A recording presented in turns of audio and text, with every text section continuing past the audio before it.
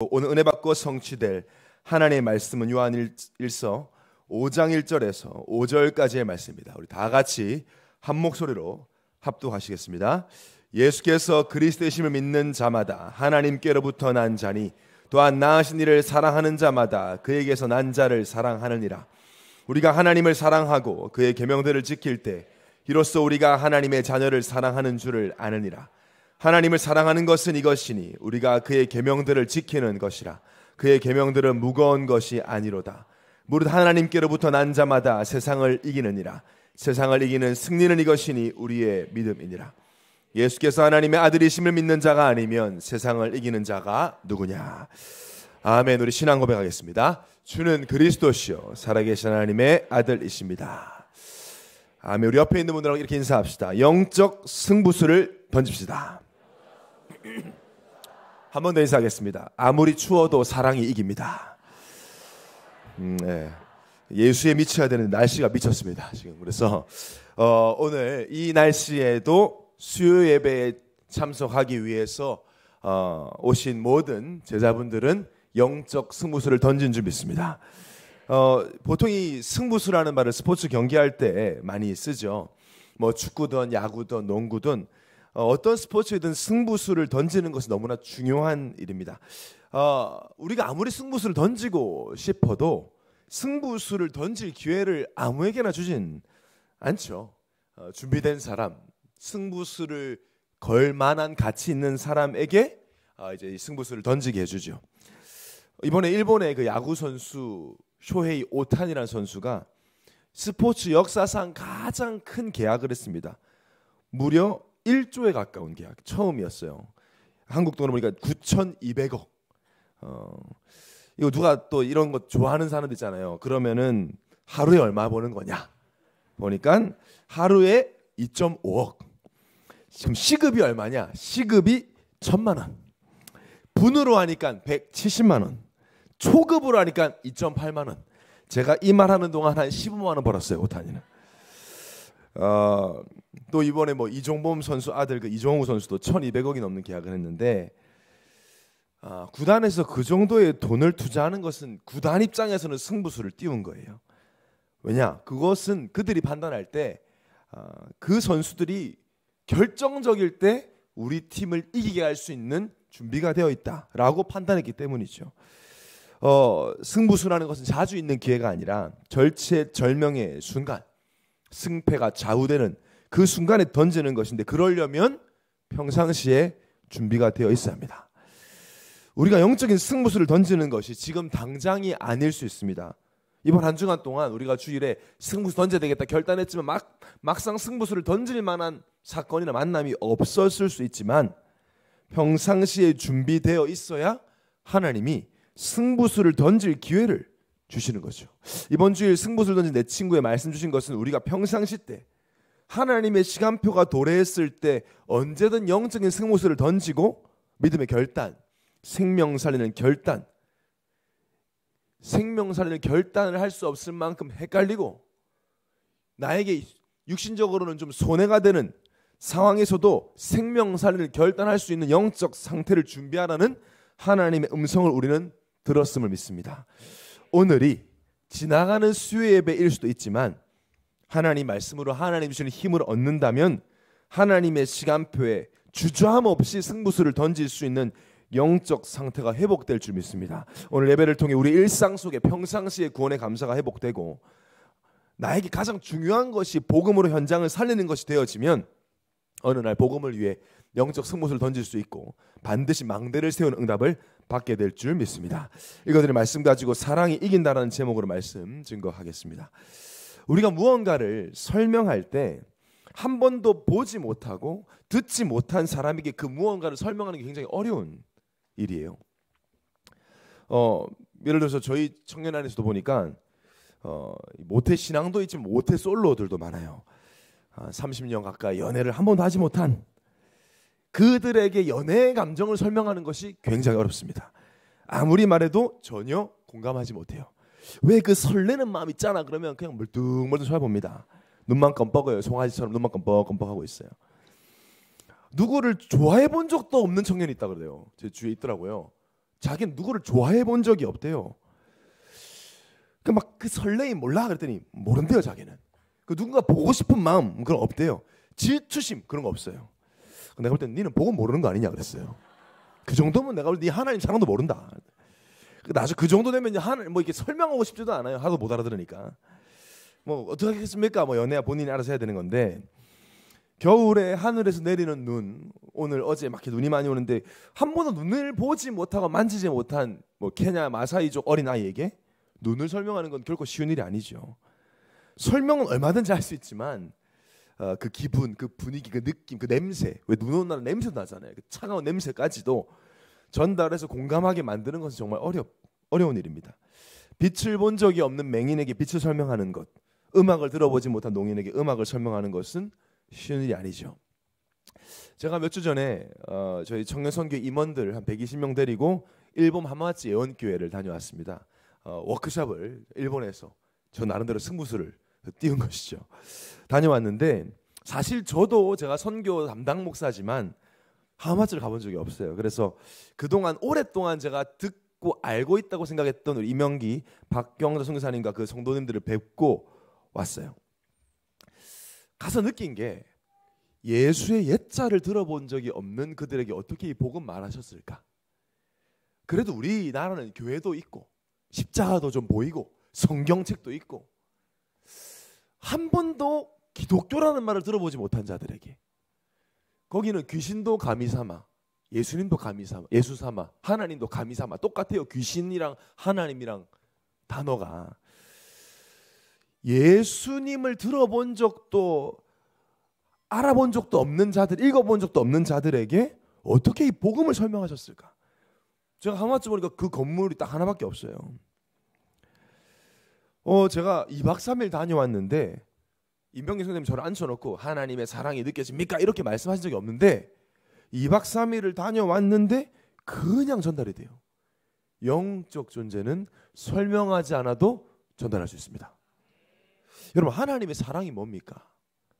요즘에 이제 연말이다 그러면 뭐 사랑의 시즌 이러는데 하나님의 사랑을 한마디로 정의할 수 있어야 돼요, 우리는.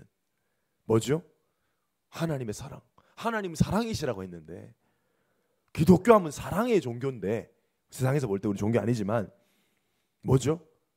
하나님의 사랑 한마디로 하면 친절, 선행, 나눔 절대 아닙니다, 그거. 그렇게 사랑을 표현하면 하나님의 사랑을 아주 값싼 싸구려로 만드는 거예요. 하나님의 사랑을 한마디로 하면 예수가 그리스도입니다. 이게 하나님의 사랑이에요. 조금 더 구체적으로 말하면 이것 말고는 사랑이 아니에요. 극단적이죠. 성경은 극단적인 책입니다. 성경으로 공감하려 하면 안 됩니다.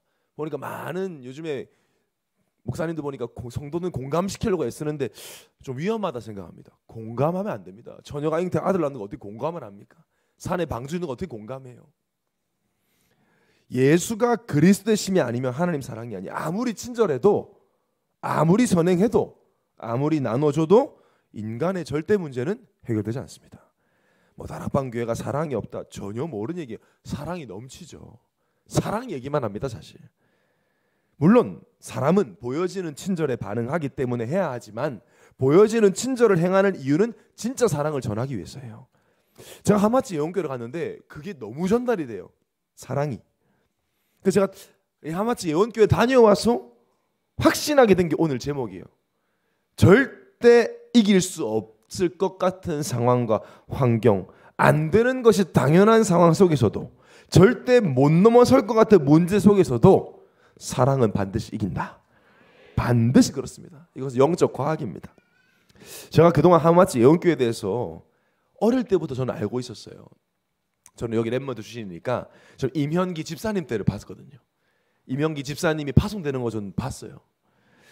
어 그래서 저는 잘 안다고 생각했어요. 사실 저는 임현기 선사님 좀 많이 어려웠습니다. 제가 지금 뭐 선교위원회 담당 목사다 보니까 이제 그렇게 굉장히 저를 잘 섬겨주시고 뭐 그렇, 그렇지만 저는 좀 어려웠어요. 왜냐면 제가 어릴 때부터 뵙고 저희 부모님과 더 가까우셨기 때문에 그 선교 대회 때 뵀는데도 이렇게, 이렇게 표현이 많지 않으시고 말수도 적으셔서 어 제가 참 조금 다가가기가 어렵더라고요. 그래서 뭐 일본에서 사역 오래 하신 저희가 볼 때는 베테랑 선배님이시니까 좀, 좀 다가가기 어렵고 왠지 좀 약간, 약간 무섭고 좀 약간 차가울 것 같고 일본 사람 같으실 것 같고 막 이런. 근데 직접 뵀는데 아, 얼마나 sweet하신지. 아 진짜 sweet남이에요 sweet남. 이 나고야까지 직접 나오셨어요. 저희 나오셔서 이렇게 어, 배웅해 주시더라고요. 두 시간 넘게 가야 되는데 어, 차에서 저는 좀 쉬고자 했으나? 같은 차를 타셔서 이렇게 너무 sweet하게 챙겨주시고. 어, 이제 교회 하마마츠 교회 도착했는데도 계속 목양실에 들어와서 쉬라고 편하게. 아 가능한 것인가? 목양실에? 어, 오라고 자꾸 안내를 해주셔가지고 목양실에 갔죠. 어, 여러분 담임 목사님 방에서 편하게 쉬실 수 있겠습니까? 제가 어, 그래서 갔더니 어, 편하게 앉아서 쉬세요 하시더니 성교사님이 커피를 직접 내리시는 거예요. 저 보는 앞에서. 어, 그래서 얼마나 따뜻하게 커피 내려주시고 커피 다 마시니까 이제 비타민 음료를 또 막 챙겨주시고 비타민 음료 다 먹으니까 또 비타민을 주세요. 제가 오줌이 센 노랬어요. 일본 내내 너무 너무 비타민을 많이 먹었어요. 얼마나 잘 챙겨주시는지 말로만 듣던 알고 있다고 생각했던 선교사님을 직접 뵙고 함께 하니까 제가 그동안 알고 있었던 건 아는 게 아니었어요. 분명히 저는 알고 있었습니다, 선교사님. 얼굴도 이름도 사역도 지금도 알고 있습니다. 그런데 함께하고 난 이후에 아는 것은 함께하기 전에 아는 것과는 완전 달라요. 함께하니까 성교사님 진짜 알게 되고 알게 되니까 사랑하게 되고 성교사님의 사역과 중심과 그 발걸음과 성교사님의 과거 현재 미래를 사랑하게 돼요. 이해가 되십니까? 여러분? 과거 현재 미래를 사랑하게 돼요. 너무너무 귀하시더라고요. 그 일본의 그 황무지에 그냥 계신 게 너무 감사하더라고요. 제가 참 오글거리는 표현도 하게 돼요. 성교사님, 성교사님 안 계셨으면 어쩔 뻔했을까요? 그랬어요. 성교사님 여기 안 계셨으면 저희 오지도 못해요. 계셔 주셔서 감사합니다. 이런 표현을 제가 제 부모님한테도 안 하는 표현인데 함께 하니까 알게 되니까 사랑하게 돼요. 함께 하지 않으면 사랑할 수 없어요. 그런 면에서 함께는 하나님이 만드신 원리입니다. 세상 사람들은 이 원리를 몰라요. 함께의 원리. 하나님이 그렇게 만들었어요. 고아로 태어난 아이들은 부모님과 함께 있는 그 기분과 감정을 아무리 책으로 보고 유튜브로 봐도 모릅니다. 지금 세상이 모르는 게 있습니다. 하나님의 사랑을 모릅니다. 예수 그리스도 사랑을 모릅니다. 왜냐? 함께 한 적이 없기 때문에. 함께를 모르면 사랑을 몰라요. 하나님과 함께 하는 것. 하나님과 함께 하면 무조건 하나님 사랑하게 돼요. 그래서 사랑 이전에 자신은 함께해요. 그러니까 하나님과 함께 하지도 않으면서 사랑 자꾸 운운하니까 사랑을 계속 오해하고 왜곡하고. 그래서 우리가 복음을 전해야 합니다. 듣던지 안 듣던지 복음을 전해서 예수를 믿게 해서 하나님과 함께하게 돼야 그들이 하나님 사랑할 수 있어요. 인간은 영적 존재죠. 하나님의 형상대로 지음 받은 모든 불신자든 신자든 어느 나라 어느 시대 사람이든 하나님과 함께 해야만 합니다. 사람은 하나님과 함께 하는 걸 보고 사는 거라고 표현해요. 하나님과 함께 하지 않으면 죽은 거잖아요. 영적으로는.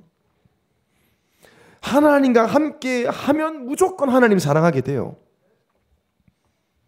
함께 하기 전에 모릅니다. 우리가 하는 말을 알 수 없습니다. 그래서 우리가 예수를 전하고 복음 전할 때 미워하고 핍박하는 건 당연한 겁니다. 고륙전도 하려고 하는데 핍박하고 미쳤다고 하고 아, 당연한 겁니다. 모르는 거예요. 함께 한 적이 없으니까. 하나님과 함께하면 하나님을 사랑하게 되는데 인간이 하나님을 떠났습니다. 죄인이 되었습니다. 죄인이 되어버리면 영적으로 죽게 되는데 그걸 보고 하나님을 떠났다고 하죠. 하나님을 떠남으로 가장 비참한 것은 영적 존재가 영이 죽고 육만 남으니까 영적으로 죽은 걸 몰라요. 아, 내가 영적으로 지금 죽었구나. 깨달으면 그때부터 시작이 될 텐데 모릅니다. 영적으로 죽은 자체를. 그게 비극이에요. 영적으로 죽은 것보다 더 비극적이고 영적으로 죽은 걸 몰라요. 하나님을 떠났다는 걸 몰라요. 죄인이라는 걸 몰라요. 마귀 자식인 걸 몰라요. 그러니까 하나님과 함께 해야 함을 모릅니다. 임마누엘적 존재라는 걸 몰라요. 그러니까 오직 육신으로 세상하고만 함께 해요. 그러니까 하나님을 사랑할 수가 없고 로마서 5장 10절에 보니까 하나님과 원수되었다. 하나님을 욕하고 기독교를 저주해야 원수가 아니라 하나님을 떠난 그 상태가 하나님과 원수된 상태입니다. 그러니까 착한 거와 상관없죠. 하나님과 원수가 돼 있으면 하나님을 알 수도 없고 사랑할 수도 없는데 이 문제는 하나님을 사랑하지 않으면 다른 걸 사랑하게 돼요. 반드시 영적 존재는요. 그게 이제 죄인된 인간의 가장 끔찍한 문제죠. 그러니까 사단이 어떻게 속이냐? 하나님 아닌 다른 거 사랑하도록 거짓 사랑. 그리스도 예수를 믿고 하나님 사랑해야 되는데 거짓 그리스도를 믿게 되죠. 이게 무슨 말이냐? 지금 현장을 잘 보시면 자기만의 그리스도를 믿고 있습니다. 이것만 있으면 내 모든 문제 끝난다라는 걸 다 믿고 있다니까요. 각자의 그리스도가 있어요. 대부분 사람들은 내가 원하는 것 그게 그리스도예요. 이거 되면 된다. 또 대부분 사람들 돈이 그리스도예요. 돈만 있으면 된다. 성공이 성경이 그리스도인 경우도 있죠. 그럼 어떻게 되느냐? 성공하고 안 하고는 별로 중요한 게 아닙니다. 우리가 되게 거기에 관심 많이 둬요. 어, 예수 안 믿어도 성공만 잘하더라. 아니 예수 안 믿어야 성공해요 세상에서. 그게 우리 기준 아니에요. 성공하고 안 하고가 중요한 것이 아니고 세상에서 하나님을 사랑해야 하는 인간이 다른 걸 사랑하면 반드시 영적 문제가 옵니다. 이건 반드시입니다. 요한복음 10장 10절에 도적이 오는 것은 도둑질하고 죽이고 멸망시키는 것뿐이요 내가 온 것은 양으로 생명을 얻게 하고 더 풍성히 얻게 하려는 것이다. 도둑놈이 왜 오냐? 도둑질하려고. 이 말은 뭐냐? 사단은 하나님 아닌 다른 걸 사랑하게 만들어서 하나님이 원래 인간에게 주어진 거 다 뺏어간다는 거죠. 영적 문제라는 게 꼭 드러난 중독이나 드러난 폭력이나 드러난 정식 문제가 아니라 원래 축복 다 뺏긴 게 영적 문제입니다. 그러니까 저 모든 사람이 영적 문제 속에 살고 있어요. 하나님과 함께 할 때만 주어지는 평안, 기쁨, 감사, 즐거움, 행복 다 뺏어갑니다. 영적 문제에 걸려서 나오는 대표적인 증상이 바로 나중심 병이죠. 나중심은 병입니다. 그건. 모든 사람이 걸려 있고요. 착할수록 많이 배울수록 더 깊이 빠지는, 더 심각해지는. 일본 갈 때마다 느껴요. 아, 일본 사람이 한국 사람보다 훨씬 더 인격 훌륭하다. 아 정말 착해요. 인사를 몇 번을 하는지 모르겠어요. 지나가면 다 인사하고 뭐 젓가락 하나 줘도 막막 すみません すみません 몇 번을 하는지 모르겠어요. 아니 애들이 걸어 다니는데 헬멧 쓰고 다녀 가지고 아니 선교사님 저 애들 왜 헬멧 쓰고 다닙니까? 했더니 여기 일본은 걸어 다닐 때도 애들 헬멧 쓰게 한대요. 우리나라 애들은 자전거 탈 때도 안 써요. 킥보드를 세 명씩 탑니다. 우리나라 애들은. 근데 일본 애들은 걸어 다닐 때도 헬멧 써요. 왜? 쓰라고 하니까. 여름에 일본 엄청 덥하고 덥고 습하잖아요. 헬멧 씁니다. 안 벗습니다. 남에게 피해 주면 안 되는 일본의 사상이잖아요. 조화를 이뤄야 한다. 아, 식당에서 떠들었다고 쳐다봐요. 저희는 담임 목사님 제자 아닙니까? 밥 먹을 때 얘기하면 언제 얘기하냐? 우리는 이거 알고 있는데. 말씀에서 강단이기 때문에 우리 생명같이 붙잡고 또 밥 먹을 때 얘기하는데 식당에서 아무도 안 밥만 먹어. 벽, 벽 보고 밥만 먹어요. 배려가 그냥 삶이고 체질인데 다 정신 돌아 있어. 남자들이 눈빛이 다 무기 전 담임 목사님 일본 갔다 오시면 진짜 일본 사람 영적 문제에 막 뭐라 하시잖아요. 머리카락 내렸다고. 그래서 예원교 교육자는 다 머리카락 올려야 되거든요. 저희는요. 일단 내리면 영적 문제 우리 우리 예원교에서 머리 딱 올려야 돼. 그래서 제가 그 얘기를 근데 진짜 보니까 일본 사람 다 무기력해. 그래서 물어봤다니까요. 일본 사람한테 무기력하대요. 일본 사람 인정해요. 제가 일본을 보고 있으면 사람이 하나님을 떠나서 매뉴얼대로 교육받은 대로 살면 성공을 하는데 저렇게 정신이 도는구나. 딱 모델이에요, 모델. 시킨 대로 했어요. 세상이 시킨 대로. 이렇게 살아야 성공할 수 있다. 성공하는데 개인은 무너지는. 우리나라도 그렇게 되겠죠. 나 중심병. 나를 사랑하잖아요. 하나님을 사랑해야 되는 인간이 나를 사랑해. 근데 만족이 없죠. 두려움과 불안함과 막연함이 채워지지 않기 때문에 우상 숭배합니다. 우상 숭배는 사랑에 사지 않습니다. 하나님을 예배하는 것과 우상 숭배의 가장 큰 차이는 사랑이에요. 모든 종교는 두려워서 우상을 섬기지 사랑에 섬기지 않습니다. 성모 마리아 사랑하지 않아요, 전주교. 이슬람 사람들 알라 사랑하지 않고 모하마드 사랑하지 않습니다. 부처님 사랑합니다 말하지 않아요, 불교에서. 망할까봐. 벌 받을까봐 잘 보이려고 하는 거죠. 두려움 혹은 복 을 구걸하기 위해서 우상을 숭배하죠. 거기엔 귀신이 역사하죠. 흑암이 강하게 역사합니다. 그래서 하지 말라는 거예요. 하나님 우상 숭배를 하지 말라는 것이 사랑해서 하지 말라는 거 하면 망하니까. 제사를 지내지 말라는 건 하나님께 돌아갈 영광을 빼앗긴다 수준이 아니라 그거 하면 귀신 역사하니까 사랑해서 하지 말라는 거예요.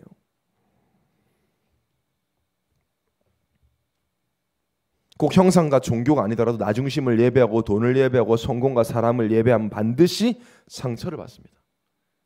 영적 문제, 우상 숭배, 상처는 하나예요, 그냥. 왜냐 사람은 사람 만족시킬 수 없고 그래서 사람을 사랑하고 의지하고 세상 것을 사랑하고 의지하면 무너지죠. 무너지는 과정 속에 상처를 받게 되는 겁니다. 어떻게 나한테 그럴 수 있어라는 말 이면에는 내가 그 사람 믿었다도 있는 거니까요. 또 태어날 때부터 어떠한 일이 나에게 없었다 하더라도 영적으로 가문해서 이 상처가 전달이 되고 대물림됩니다. 영적인 것이죠. 상처 속에는 미움, 분노, 용서하지 못하는 일들이 있고 그 깊어지면 그것을 틈타 사단이 역사합니다. 마귀에게 틈을 주지 말라는 말이 그래서 굉장히 영적인 이야기예요. 단순히 그냥 화내지 말라가 아니죠. 내 안에 깊은 상처, 복음으로 재해석되고 치유되지 않으면 틈은 언제나 있는 거예요. 결국 드러나는 게 이제 그 상처가 영적 문제랑 연결되면 드러나는 게 정신 문제, 집착, 중독, 분열, 내 마음대로 이제 안 된다는 거죠. 자, 우리가 살고 있는 현장에 이런 사람들, 영적 중풍병자 걸린 자들이 가득합니다. 우리가 어떻게 살릴 수 있을까? 이런 말씀 때문에 아, 뭔가 좀 시급해지고 좀 긴박해지는데 지금 당장 내가 뭘 할 수 있지? 우리가 뭘 하기 전에 날마다 확인부터 해야 될 게 있습니다. 첫 번째로 우리가 받은 사랑입니다.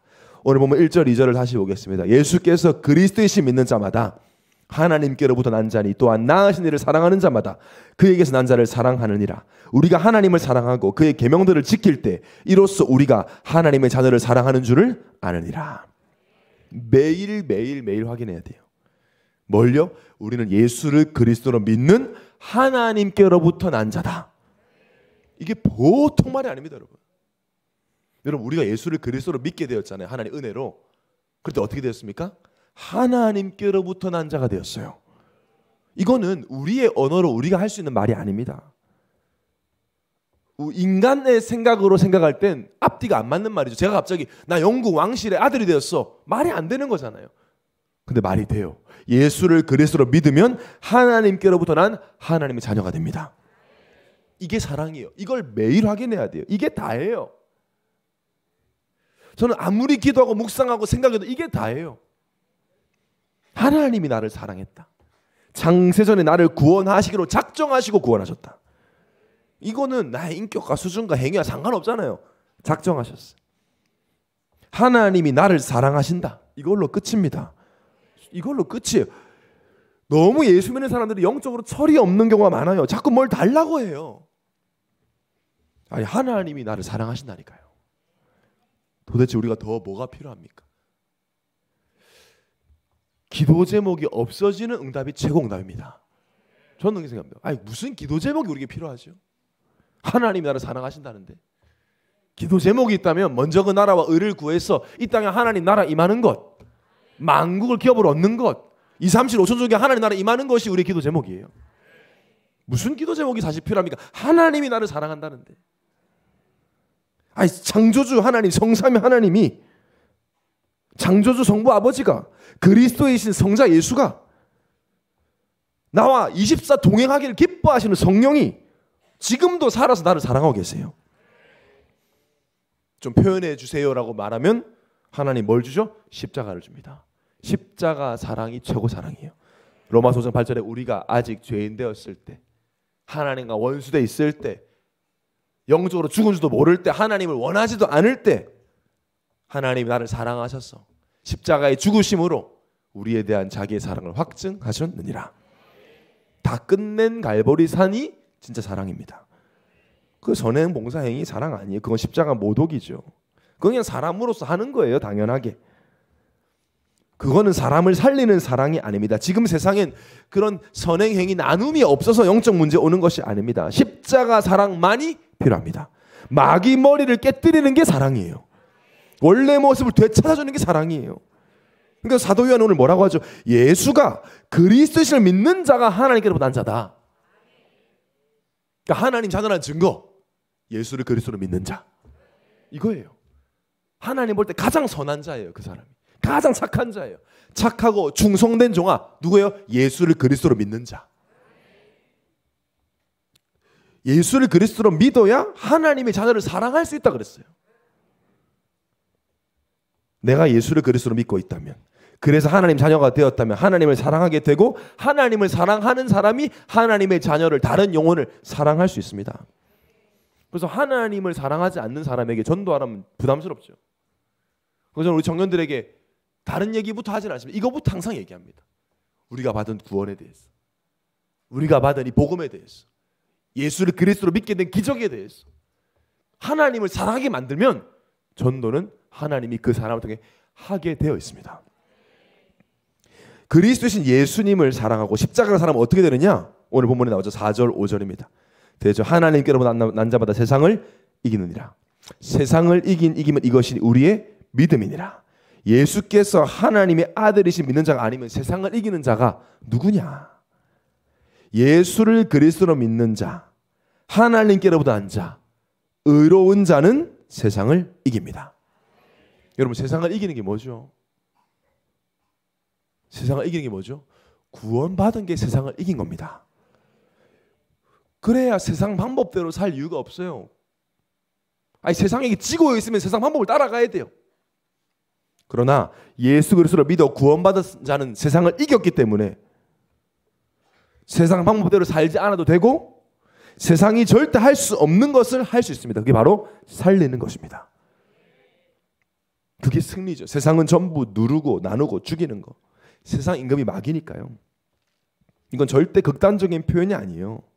세상이 이미 극단적으로 나 중심이고 극단적으로 물질 중심이고 극단적으로 성공 중심이죠. 돈 안 되면 의미 없다고 합니다. 내 마음대로 안 되면 다 틀린 것이라고 하잖아요. 이런 세상에서 우리는 이 하나님 사랑받아 나는 죽고 그리스도만 산다고 고백하는 그것이 세상을 이긴 것입니다. 그냥 이기는 게 아니라 질 수가 없어요. 왜냐? 의인이기 때문에. 의인은 질 수 없습니다. 이 세상에서. 의인은 누굽니까? 죄 사함 받은 자. 그래서 우리에게 최고 응답은 죄 사함 받은 것. 아멘. 여러분 진짜 이거 아멘 되셔야 돼요. 우리에게 최고 능력 죄 사함 받은 거예요. 우리가 할 수 없잖아요. 예수 그리스도 믿어야만 가능해요. 죄 때문에 망하는데 원죄 때문에 이 죄 때문에 저주 아래 있어야 되는데요. 죄 때문에 자유를 누릴 수 없는데요. 갈라디아서 5장 1절에 그리스도께서 우리로 자유케 하시려고 자유를 주셨으니 그러므로 국색에 다시 서서 다시는 종의 멍에를 매지 말라. 다시는 자유 어떤 것도 매이지 못한다 나를 로마서 6장 14절에 죄가 너희를 주관하지 못하리니 이는 너희가 법 아래 있지 아니하고 은혜 아래 있습니다. 질 수 없어요. 죄가 주장하고 있어야 지는데 이제는 은혜 아래 예수 그리스도 아래 있기 때문에 질 수 없는 그래서 오늘 본문에 예수께서 하나님의 아들 그리스도로 믿는 자가 아니면 세상을 이길 자가 누구냐? 우리는 사주팔자 운명, 질병, 저주, 지옥 이깁니다. 어떻게 요 예수가 그리스도라는 참된 사랑으로. 막연한 사랑이 아니에요. 이걸 우리가 확인해야 돼요. 요즘 말씀에서 계속 나오는 망대, 일곱 망대. 어떤 분은 이제 난, 나는 외우기를 포기했다 이러시더라고요. 나는 773까지 나는데 더 이상 못하겠다. 777을 한마디로 뭐냐? 사랑. 복잡하지 않아요. 예수 그리스도 안에 있는 거예요. 내 안에 있는 거예요. 그걸 확인해서 좀 세우자는 거죠. 망대로. 성삼위 하나님 아버지 그 자체가 사랑이죠. 보좌의 축복이 뭐예요? 사랑이에요. 시공간 초월이 사랑이에요. 아무것도 아닌 나를 전무후무하게 세운다는 약속이 사랑이죠. 우주를 장악한 이길 권세가 나에게 있음이 그게 사랑이에요. 사랑하는 자에게 오력을 주세요. 미리 보게 하시는 CBDRP를 누리게 하세요. 그게 사랑이에요. 나나나 했던 내가 이방인과 치유와 아이들의 뜰을 갖출 수 있게 하시는 그게 사랑이에요. 하나도 안 복잡합니다. 사랑. 아, 하나님이 사랑. 이 사랑의 망대를 세운 사람을 하나님 인도해요. 절대 내버려 두지 않는다. 그게 일곱 여정이에요. 내버려 둔 것처럼 느껴지지만 나는 지금 문제 속에 있는 것 같지만 성삼이 하나님이 함께 하고 있고 나의 여정 속에 외로운 것 같지만 영적으로 하나님이 독립시키고 있고 영적 사실을 보게 하고 남들이 맞다고 하는 걸 역발상으로 살리는 길로 인도하시고 원넷의 시너지를 누리게 하시고 위기가 기회가 되게 하시는 그 재창조의 축복을 이미 주시고 인도하고 계시다는 거예요. 전혀 어려운 것이 아닙니다. 묵상할 때마다 이게 사랑이에요. 그리고 우리 내 삶이 이 전도자의 삶으로 바뀌어진다. 그게 사랑의 여정이죠. 그걸 누리고 있으면 정확한 시간표에 하나님이 이정표를 주셔서 인도하신다. 그게 일곱 이정표예요. 매일 우리는 갈보리 산에서 아 다 끝났다. 예수를 그리스도를 믿음으로 다 끝나버렸다. 어 근데 내 삶에 오는 문제는 감람산의 축복을 누리고 하나님께 집중해서 그것이 문제 아니면 확인하는 것이다. 그럼 반드시 마가다락방에 성령이 역사하셔서 증인되게 하신다. 더 어려움이 와도 비로소 그리스도인이 되는 안디옥의 시간표를 인도하시고 문이 막힌 것 같지만 아시아 마게도의 복음이 증거되는 축복을 누리게 하시고 결국 가이사 앞에서는 로마의 축복을 누리게 하신다. 하나도 안 복잡합니다. 한마디로 그리스도로부터 시작해서 그리스도 안에 있는 사랑이에요. 이런 사랑을 그리스도를 통해 내가 받았고 날마다 확인하면 어떻게 되냐? 이 사랑을 현장에 주게 됩니다. 두 번째로 우리가 알려줘야 할 사랑입니다. 어떤 사랑을 알려줘야 할까? 우리가 만나는 모든 사람에게 어떤 사랑을 알려줘야 하는가? 정년 선교에서는 매년 크리스마스 때마다 새 생명 초청 예배를 하고 있습니다. 왜냐면 저는 아무리 생각해봐도 우리가 1년 중에 대놓고 예수 그리스도 말할 수 있는 주간이 바로 지금 이 주간이에요. 지금은 뭐라고 안 해요. 사람들이 오라 그래도. 크리스마스에 교회 가자는데 그렇게 기분 나빠하지 않습니다. 그렇게 강팍하지 않아요. 지금이 최고 기회인데 대부분 교회들이 지금 행사 때문에 바쁘죠. 저희는 정년에 바빠도 합니다, 일단. 이번 주일은 막 시간도 일부러 원래 2시 반 예배 4시 반으로 조절했어요. 정년도 술 많이 잡수시고 푹 주무시고 오시라고. 그렇게 해서라도 한번 들으시, 들으시라고. He's here. 그가 오셨다라는 주제로 지금 매년 하고 있는데 아무리 생각해도 지금 아니면 대놓고 말할 때 자리가 별로 없으니까요. 선물도 주면서 이렇게 준비를 하고 있습니다. 특히 다민족들을 위해서는 저희가 어제 이태원 지교회에서 홈 파티 한다고 이제 초대해 가지고 어, 미리 예비 캠프를 진행을 했는데요. 15개국에서 30명이 넘게 왔어요, 어제.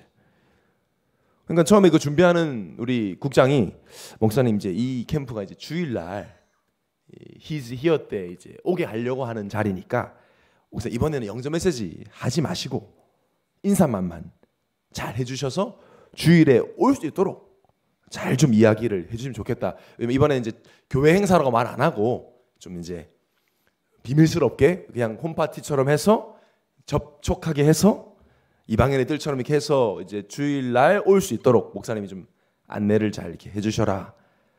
어, 라고 해서 어 뭐 알겠다 해놓고 마이크 잡자마자 제가 한국에서 안 행복하지 하면서 눈 감아 따라해 하면서 영적기도 다 시켰어.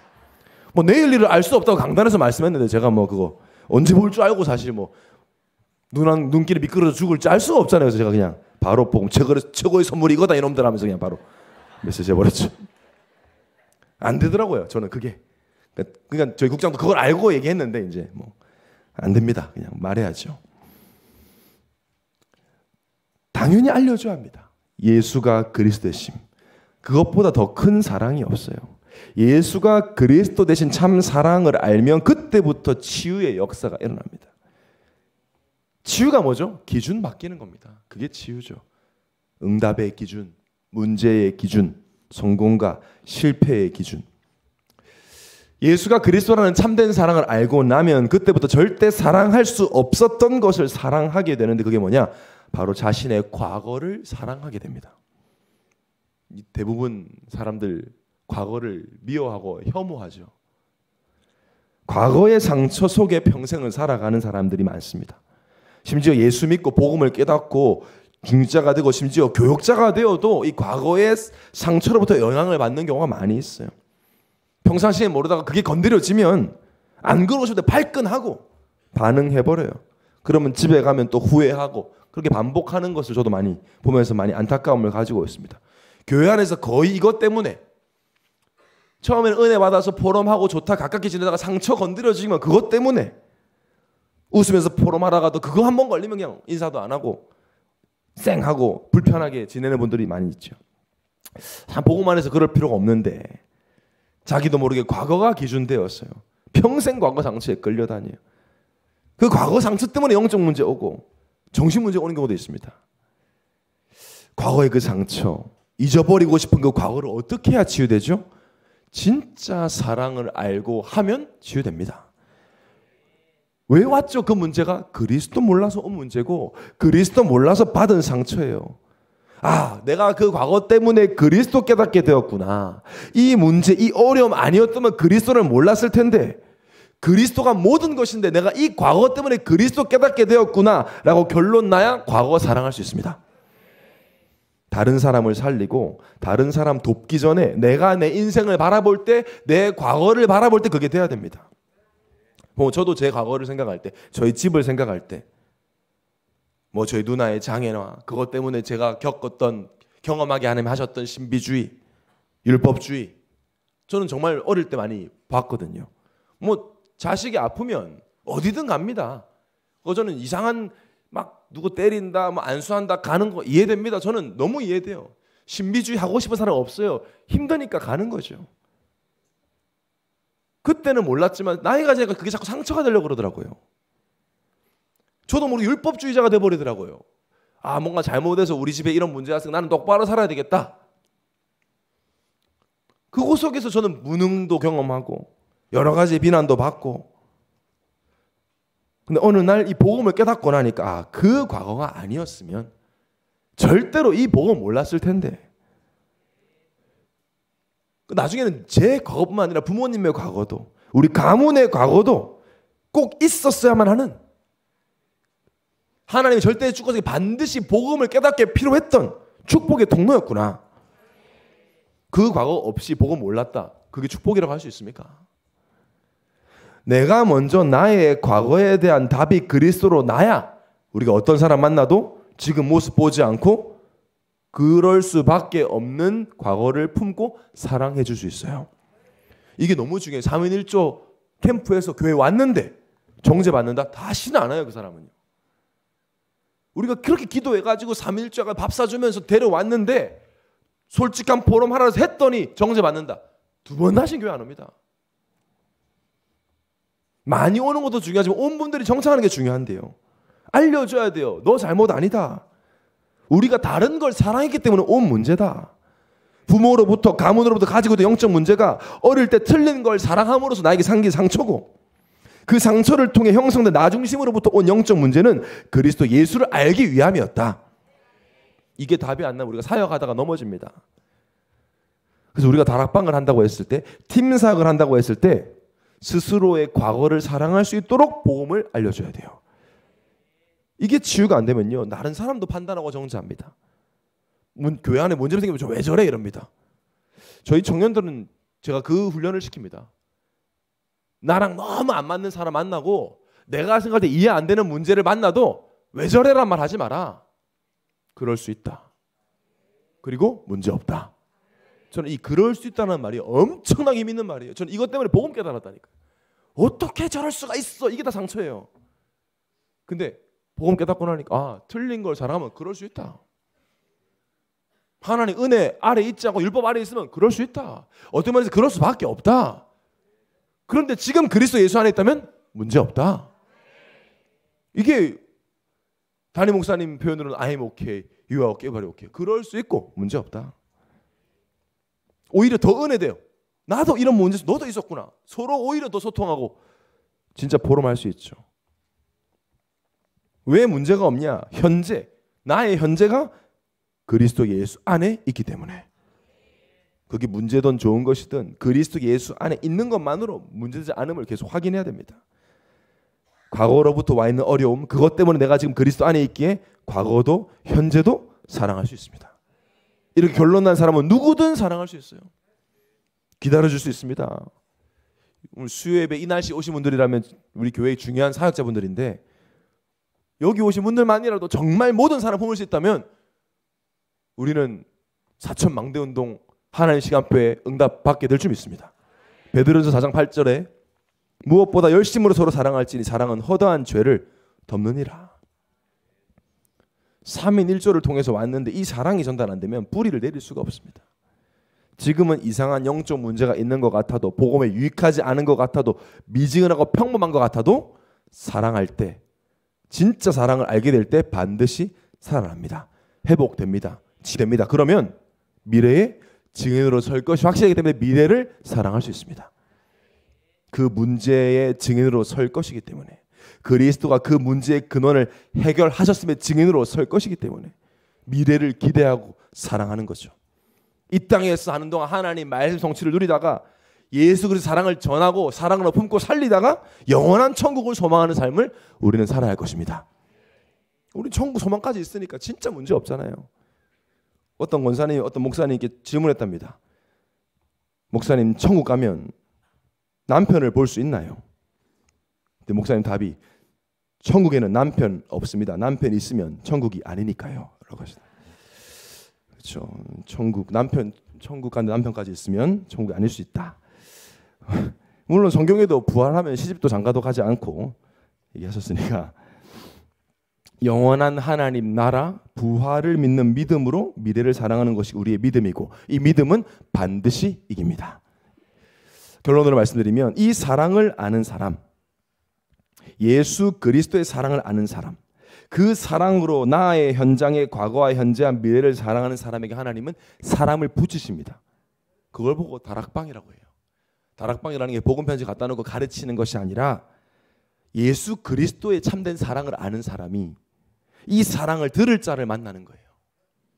그래서 그 사람에게 과거, 현재, 미래를 사랑하게 만들어 주는 거예요. 과거에 문제가 올 수밖에 없는 이유를 알려 주고 그렇지만 네가 당신이 지금 그리스도 예수 안에 있는 최고의 축복이 있음을 알려 주고 미래의 치유에 지금 설 것임을 알려 주는 것이 다락방이에요. 그 다락방을 받은 사람에게는 하나님이 만남을 주세요. 만남을 보는 눈이 달라집니다. 그 만난 사람에게 진짜 사랑을 전합니다. 그것이 팀 사역이고요. 그때부터 이제 미션이 달라지죠. 내 삶의 이유가 달라집니다. 사랑받고 인정받기에 살던 사람이 영혼을 사랑하게 되고 영혼을 이 복음을 전하고 싶은 사람으로 바뀌어집니다. 나의 삶이 이 사랑을 전하는 것 중심으로 우선순위가 바뀌는 것을 보고 미션 홈이라고 합니다. 이때부터 이제 내 업이 먹고 살기 위한 도구가 아니라 이 업과 기능을 통해 이 사랑을 전하기 원하는 것. 그것이 전문 교회고 그 사람들이 모인 지역은 살아나게 됐습니다. 그것이 지교회입니다. 다락방 전도 운동 다섯 개 초의 그 시작은 바로 사랑입니다. 방법이 절대 아닙니다. 날마다 이 사랑을 확인하시고 날마다 이 사랑을 기도로 누리시고 일곱 망대, 일곱 여정, 일곱 이정표를 이 그 사랑을 누리심으로 현장에 이 사랑을 전하는 망대로 살아가시기를 예수님으로 축원합니다.